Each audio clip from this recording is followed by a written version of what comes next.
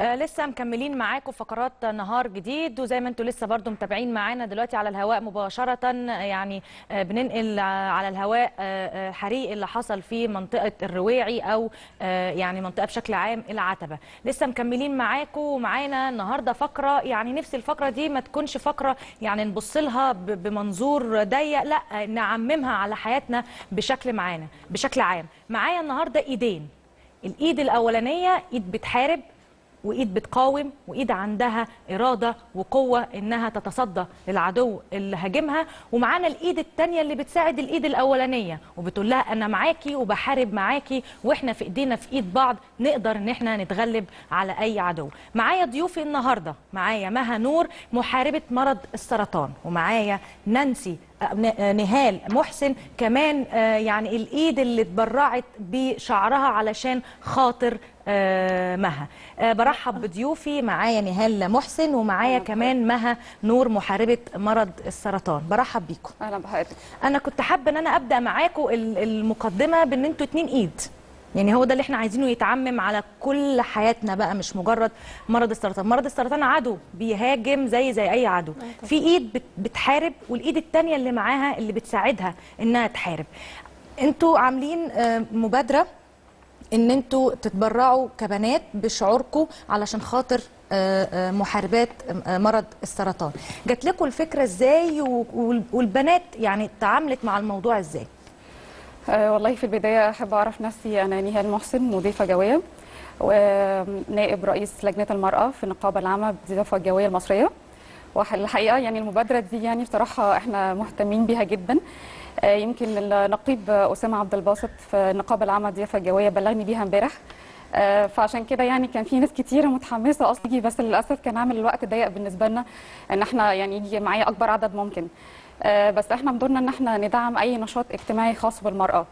آه، ما عندناش اي مشكلة ان إحنا نتبرع كدعم نفسي دعم معنوي. آه، آه، بالنسبة طبعا لمريض السرطان أو أي مريض في الدنيا أهم حاجة بالنسبة له الدعم النفسي. آه، يمكن يعني أوكي أنا عارفة إن العامل المادي مهم كمحاربة السرطان من الناحية المادية كتكلفة علاج. آه، بس ده برضو مش آه، مش أهم حاجة. الدعم النفسي لمريض السرطان وغير مريض السرطان وده اللي عايزة أكد عليه مهم جدا. آه، فيمكن المبادرة دي حاولنا إن إحنا آه، نبتدي بيها وبحاول إن أنا أشجع الناس عليها آه، إن إحنا حاجة يعني بنقول للمريض بيها السرطان إن الشعر مش مهم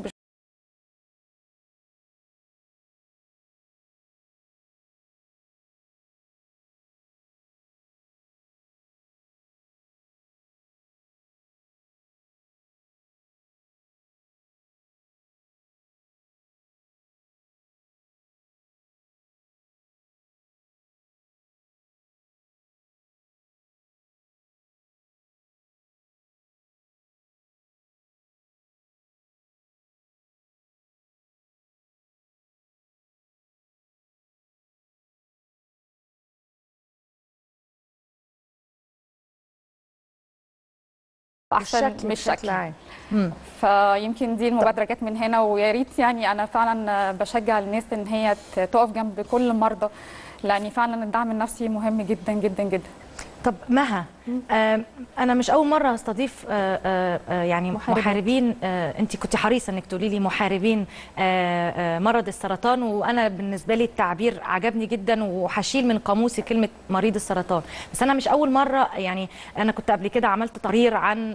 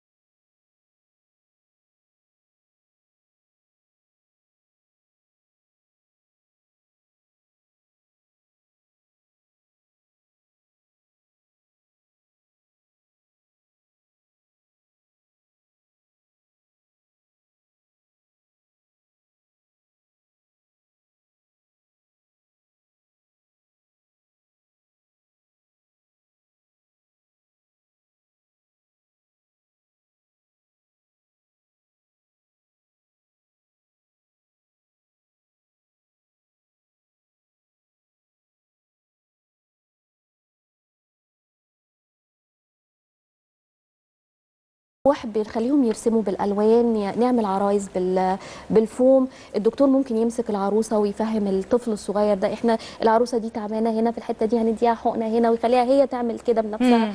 فانت بتجرأي الطفل وبتفهميه وبتعرفيه انت عندك إيه بطريقة لطيفة وظريفة وطبعا حتة الرسم والألوان دي بتخلي روح المعنوية بتبقى لا فعلا قصة الابتسامة دي إحنا كنا هنا بنتكلم عن ال- ال- ال- الاندورفين أو الاندورفين اللي هو الخلايا اللي هي بتفرز المعنوية. ال ال يعني الابتسامة وبتسكن الألم بيقول لك فعلا الابتسامة بتفرق في علاج نفسية الطفل طبعاً. وفي يعني لما ذكرنا هنا كان معانا الضيف قال فرق جدا في, في نفسية الطفل وساعده أكتر إن هو يقاوم وإن هو يتعالج ونسبة العلاج أو الشفاء كانت أعلى. فعلا. وفي أبحاث برضو أنا عايزة. أقول إن برضو دي كانت رسالة للأطباء لأن في بعض الأطباء زي ما قالت مها آه، بيسيئوا أو ما فيش وعي في التعامل مع المريض إن هو بيتعامل مع المريض على أساس إن هو حقنة وروجيتا وأدوات ال- ال- ال- اللي بياخدها معاه في الشنطة. لأ يعني على فكرة الابتسامة هتفرق في علاج المريض. الطفل نفسه ما تتعاملش معاه إن أنت بتديله مادة كيماوية في جسمه هي دي اللي هت- هتشفيه. لأ ابتسامة التعامل الصح مع المريض بشكل عام سواء طفل أو كبير ده هيفرق في نفسيته وأبحاث علمية. وأكيد أنتوا أدرى بحاجة زي كده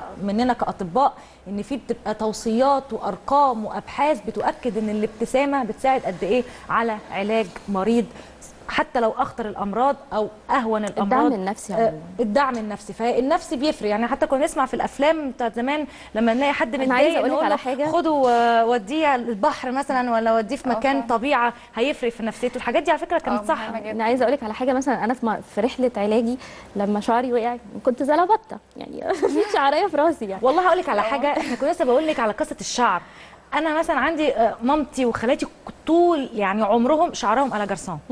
يعني عمرهم وشعر القصير اللي هو عارفة اللي هو ال ال ال آه. الرجالي اللي هو فاهم الا جرسون فيعني القصة اللي هو يعني البنت والشعر لا، لا, لا يعني ما آه ده مفهوم ما- بصي، تماما عشان كده بقول لك الدعم النفسي أنا يوميها كان شعري واقع كله مفيش ولا شعريه في شعري فكنت واقفة ساعتها قدام المراية ببص على نفسي وش شاحب غامق أسود زي. القمر أهو ربنا قمر يخليك طبعا. فساعتها كان جوزي جنبي فبقول له أحمد أنا حاسة إن أنا شكلي بقى وحش انت. عندك أطفال آه طب عندي قولي آه يعني تعامل عندي. اعداديه وسته النهارده. بسم الله ما شاء الله مع انك صغننه كبيرة. بس بضحك عليكم. طب قولي لي ال- ال- الزوج بقى كان أنا إيه؟ عايزة أقول لك الجزئية آه. دي. فساعتها أنا واقفة في المراية بقول له أنا حاسة إن أنا شكلي بقى وحش قوي. فساعتها بص لي وقال لي مين اللي قال لك كده؟ أنا شايفك أجمل واحدة في الدنيا. ياه. أنا عارفة إن هو في اللحظة دي كان كذاب بس عايزة أقول لك إن الكلمة دي لحد النهارده. هي اللي وقفتني على رجلي.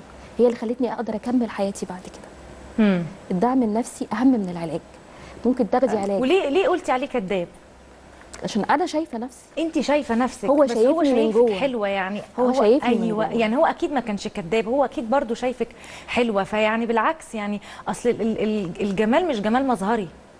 هو شايفني من جوه. لكن ما ننكرش إن في اللحظات دي الواحد فعلا بيبقى لا شكله لا لا لا مختلف. لا هو أكيد كان شايفك جميلة برضو. يعني إن إن قصة الدعم النفسي بتتكلمي عنها دي لانها مهمة جدا. أنا يعني في حالات أنا قابلتها اتطلقت. ده عايزه 90% كتير جدا. بسببها وكانت يعني دي كانت من أسباب إن فشل العلاج إن هو جوزها سابها علشان هي عندها صح. آه آه مرض أو عندها المرض للأسف. كمان في ناس فاكرة إنه معدي يعني في رجالة أو ناس فاكرة إن المرض السرطان ده لسه التوعية لحد عندنا فالتوعية ضعيفة جدا. آه. إحنا عشان كده عندنا في الجمعيه قولي الأزواج طيب اللي اللي يعني اللي جوزك مثال إيجابي يعني إحنا فخورين بيه. بأمانة. يعني إحنا تحيه لجوز مها اللي وقف في ظهرها وقال لها انت جميلة وأنا متأكدة إنك شايفها جميلة على فكرة. أنت ما كنتش بتكذب وأنا يعني إيه رديت وقلت لها أكيد هو ما كانش يعني بيكذب عليكي لكن إحنا تحية لكل راجل بيقف جنب مراته في المواقف اللي زي دي لأن العكس بيحصل لما الست بتلاقي إن جوزها بيقع في مشكلة أو بيحصل له حاجة هي دي طبيعة جينات الست المصرية اللي دايما اللي هو يعني إحنا دايما تقف في حافظين. تقف في ظهر. راجلها زي ما بيقولوا كده بالبلدي دايما يعني إن الراجل هو اللي يقف الست. جنبها يعني أنا عايزة أقول إيه لك إن؟ أنا أنا دلوقتي أنا المفروض إن أنا كاتبة صحفية أنا عندي مجلتين إلكترونيتين عندي قناة على اليوتيوب إن شاء الله كل الحاجات دي أنا عملتها بعد السرطان آه. كان بفضل ربنا. وجوزي مم. لولا وقفته جنبي أنا ما كنتش عملت أي حاجة من الحاجات دي طب ده أثر على اولادك لا آه، عملتي؟ يعني الولاد كانوا فاهمين ولا كنتوا حاسبين بصي ال- وقتها كان ابني صغير لسه صغير ومش فاهم أي حاجة أنا فاكرة موقف ساعتها حصل كنت نايمة كنت دايما بحاول إن أنا ما بانش قدام جوزي براسي ما فيهاش شعر يعني مش عايزاه يشوفني شكلي مش لطيف مم. فكنت دايما أنام لما ينزل الشغل وطول الليل صاحية خايفة إن الإشار بيقع من على راسي. فيشوفني ففي يوم هو نزل الشغل فنمت بقى نوم عميق صحيت على صوت ابني وهو بيجري بينده على أخوه بيقول له يا مازن مازن تعالى الحق مامي ما فيهاش شعر فأنا سمعت الكلمة بس قمت ربطت بسرعة الشعر راسي. بس ما حاولتش أسأله ولا أتكلم معاه واحدة واحدة هم بدأوا يفهموا بس هم مش حاسين بإن الموضوع كبير لأن هم شايفين أمهم قوية مم. أنا بتعامل عادي جدا كسره كل التابوهات أو كل القيود اللي الدكتور قالها لي مم. انت ممنوع ممنوع ممنوع. هم مش شايفين ده. فمش حاسين ان في حاجة غريبة في البيت. مم. مش حاسين ان في محارب سرطان في البيت. شايفين ماما طبيعية. لا بصراحة كنت عايزة أقول لمها طبعا هي نموذج هايل وعايزة أقول لأي مريض خليك قوي. آه، حتى لو اللي حواليك مش بيديك أي دعم بس أنت من جواك آه، أقوى من أي حاجة مم. آه، أنت بإرادتك هتحسس كل اللي تخيل حواليك هي اللي مدياني الإرادة دلوقتي آه. هي هي مها هي اللي ادتني الإرادة لا يعني ما تخيلي يعني. يعني آه. فاهمة قوتك وإرادتك عم كنت مدياكي قبل إيه؟ التسجيل عمالة أقول لها ما شاء الله يعني آه، جدا آه